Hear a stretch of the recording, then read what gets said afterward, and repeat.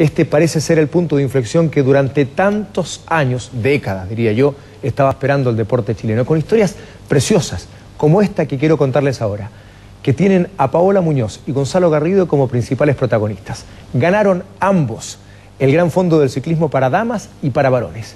Y ellos son pareja, una pareja que ha tenido muchos inconvenientes, muchos problemas, y que ayer se colgaron la medalla de oro ambos en sus pruebas. Qué historia más bella una historia de deportistas. ¡Vamos Chile! ¡Que se escuche Chile! ¡Chile, Chile, Chile, Chile, Chile, Chile, Chile, Chile, Chile! ¡Paola Muñoz con el número 3! Han pasado poco más de 24 horas de la doble medalla de oro que consiguieron Paola Muñoz y Gonzalo Garrido en el ciclismo en ruta y ya volvieron a sus actividades cotidianas. No alcanzaron a celebrar, menos a disfrutar de una jornada histórica para nuestro país. Para pagar esta actividad hay que producir, comenta Paola. El día a día normal parte por lo menos a las seis y media de la mañana para arreglar a mi hija y llevarla al colegio. Después los entrenamientos y después irme a la Universidad Andrés Bello, que ahí estoy becada completa también por el tema de los Juegos Olímpicos. Pero se hace bastante pesado. Paola y Gonzalo son pareja, viven juntos y comparten el día a día. Trabajan asociados con Esparta Deportes, que distribuye la marca de bicicletas Trek. Aprovechan que son conocidos en el medio ciclístico para hacer negocios, venderlas a empresas y a particulares también. Bicicletas que van desde los 250 mil pesos hasta las profesionales que superan fácilmente los 5 millones de pesos. Ahí claramente ganamos nuestro margen, entregamos la bicicleta, distribuimos para todo Chile bicicletas a los servicios técnicos y a nuestros amigos más cercanos y a la gente que, que, opta por elegirnos a nosotros como opción de venta y con eso financiamos todo el ciclismo y toda la preparación de todo el año en realidad. Vivimos a full lo que es el ciclismo, tanto entrenando nosotros, tan, tanto entregando a las personas las bicicletas que ellos buscan. De su lugar de trabajo nos trasladamos al de entrenamiento, el antiguo velódromo del Estadio Nacional.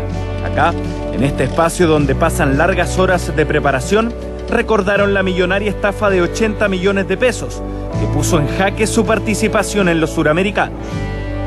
Un amigo muy muy cercano a nosotros, Juan Pablo Pino, eh, tenía un equipo que se llamaba Pino Road, tenía deportistas tanto en el mountain bike como en la ruta.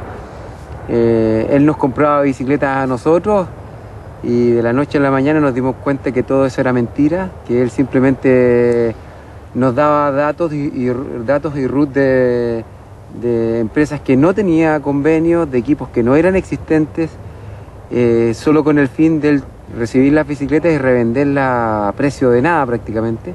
Esos días que, que tuvimos la noticia, eh, yo caí en depresión, por decirlo así, exploté en llanto y no, no entendía nada, te juro que no entendía nada cuando nos empezamos cuenta con Paola que, eh, y sacamos la cuenta del monto que, que significaba esa estafa, eh, yo me retiré de la selección. Yo hace dos semanas, tres semanas atrás, yo ya no estaba en la selección. La rabia y frustración acumulada les sirvió para entrenar con más fuerza aún, antes de reintegrarse nuevamente al equipo nacional. Gracias a la ayuda de amigos y a la venta de bicicletas, negocio que mantuvieron incluso durante los días de concentración, lograron reducir la deuda a 17 millones y así afrontar la competencia.